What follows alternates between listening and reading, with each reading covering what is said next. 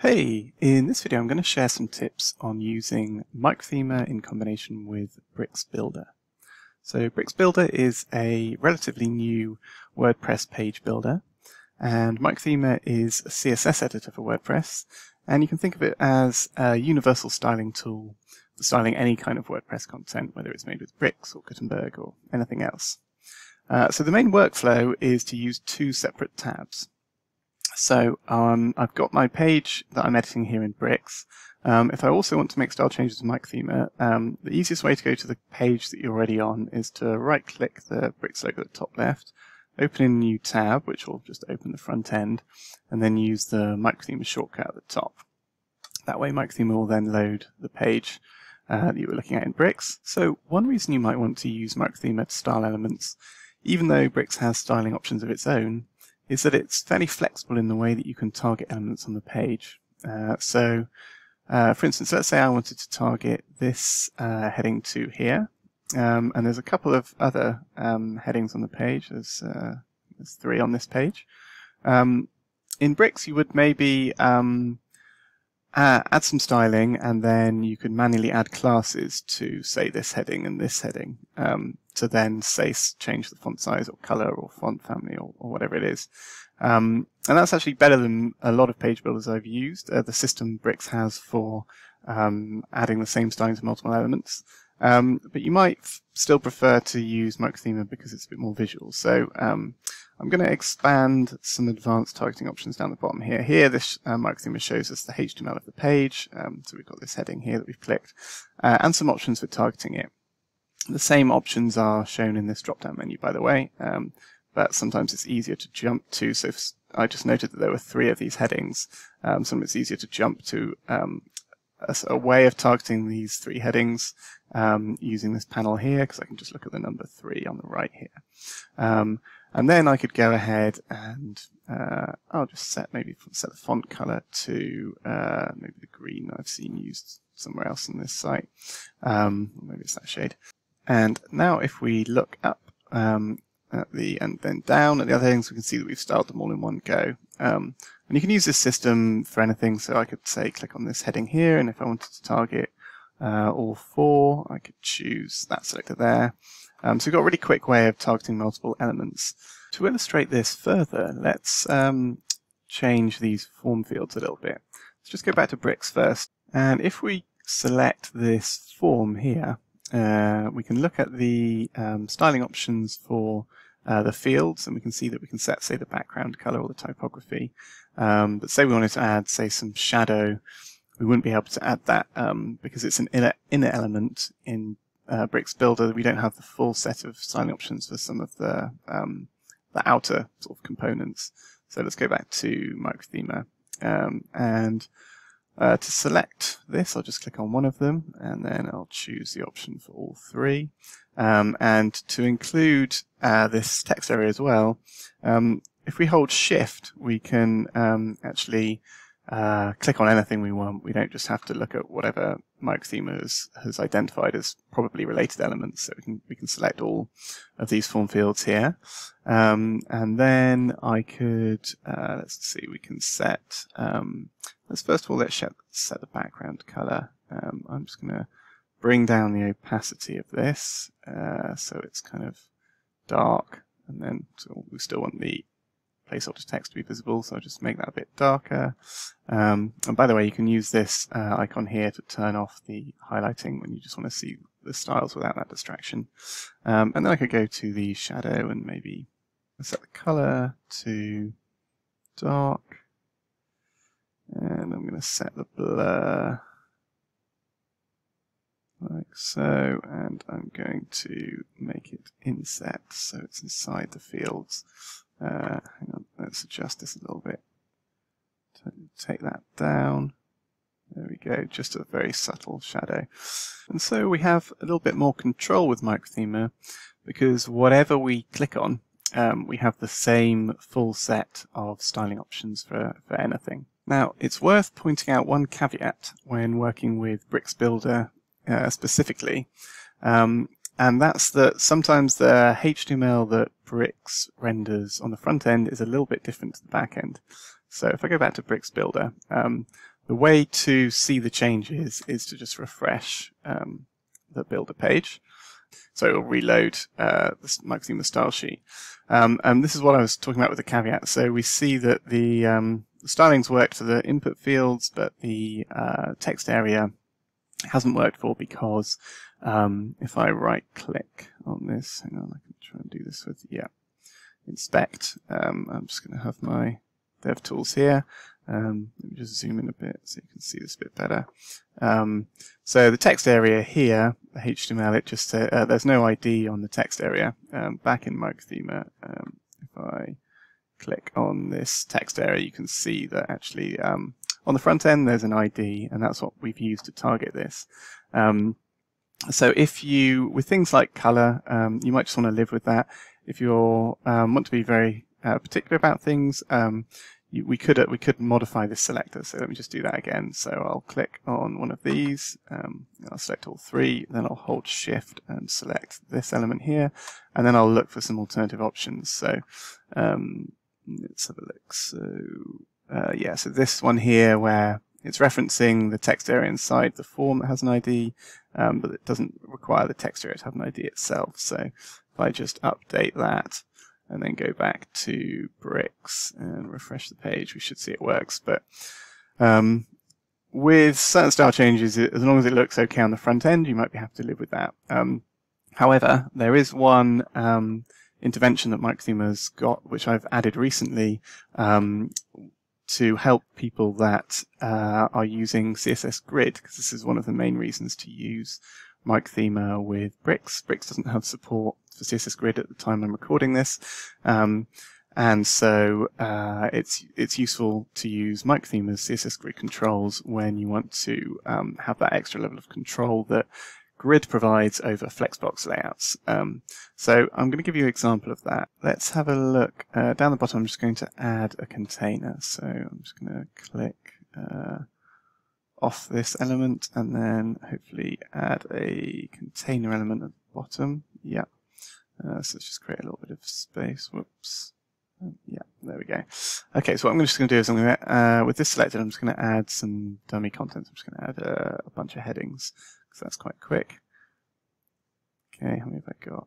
Uh, yeah, okay, that should do. So if you didn't want to use the default Flexbox styling for um, container elements, in Bricks. Uh, you could add some custom CSS via Bricks' custom CSS editor, um, but because of the um, at the time of recording, there's an issue where the uh, H1 is a bit different uh, on the back end to the front end. Um, any custom CSS you add to make the grid work on the front end uh, won't work on the back end without some um, a little bit of extra work.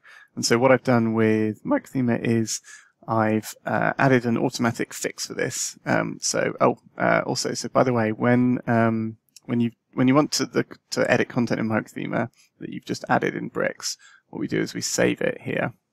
It can be a draft, that's fine. And then in Microthemer, um, the quickest way to get the content, the new content, is to just click on this Go button here. What that does is it just reloads the front end uh, without actually reloading the, the whole interface. It's a bit quicker. Uh, I'm just going to close this panel for now. Um, so if we select the container element like this, um, and sometimes, by the way, you, in order to select the container element, you might need to click on an element inside and then just click the up arrow to move up to the parent until the highlighting covers all of the items. Um, that's a trick because when you apply CSS Grid, it needs to be the direct parent of the set of items that you want to style. Um, so, uh, and what Microthemer will do is it will um, create, it will suggest fairly long selectors in this case because it's including a fix to make sure that the um, the grid styling will work on the front end and the back end. Um, and so uh, we'll just go with the default suggestion right now.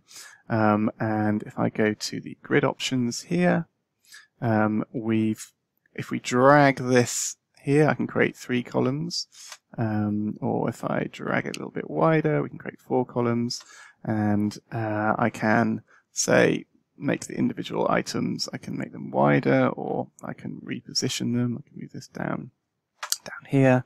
Um, you can play around and create basically any structure that you want. So it's a really visual way to create layouts. Um, so I'll just show you uh, a couple of these grid options while we're here.